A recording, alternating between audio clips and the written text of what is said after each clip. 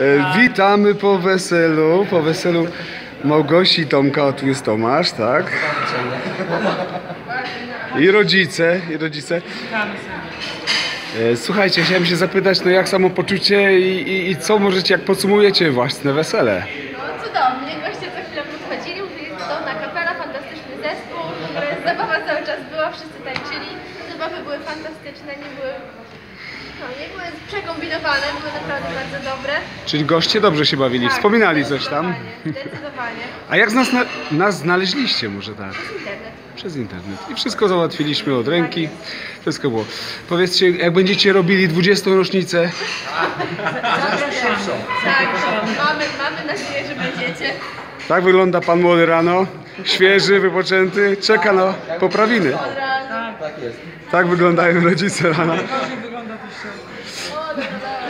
W takim razie my życzymy wam wszystkiego. Głos, straciłam głos, więc było bardzo dobrze. Tak, wszędzie latały spinki, fryzury popsute.